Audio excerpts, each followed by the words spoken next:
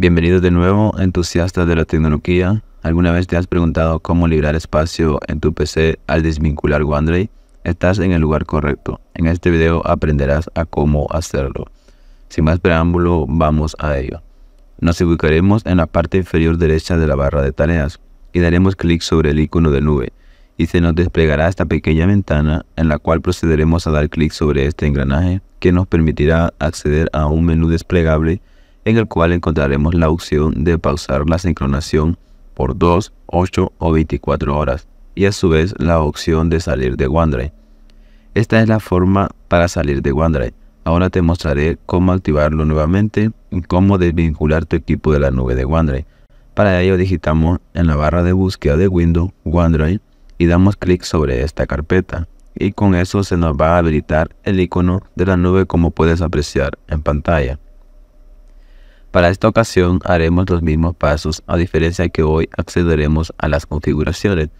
Dentro de esta ventana de configuraciones contamos con diversas opciones que podemos modificar a nuestra manera, según sean nuestras prioridades o necesidades de almacenamiento, y a su vez encontramos la opción de desvincular nuestro equipo. También se cuenta con opciones como bloquear algún almacén por un intervalo de tiempo como los que se muestran en pantalla. Una información extra que te voy a mostrar es cómo administrar tu copia de seguridad. Para ello nos situamos en la opción sincronización y copia de seguridad.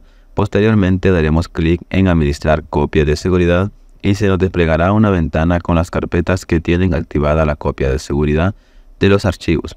En mi caso están activadas las carpetas de escritorio, documentos e imágenes. Para desactivar la copia de seguridad de estas, basta con desactivarla dando clic en este botón y posteriormente en detener copia de seguridad. Y asimismo puedes activar o desactivar las copias de seguridad de dichas carpetas que se te muestren en esta ventana. Para la desvinculación, vamos al menú Cuenta y daremos clic en la opción Desvincular este equipo. De esta forma desvincula la cuenta de tu equipo y los archivos de OneDrive dejarán de sincronizarse. Espero te sea de mucha utilidad este video y si deseas apoyarme te invito a suscribirte a mi canal y te estás garantizando aprender algo nuevo cada día, que te ayudará tanto en tu vida laboral, profesional o cotidiana. Y recuerda transformar tu vida con la tecnología. Nos vemos en la próxima sesión.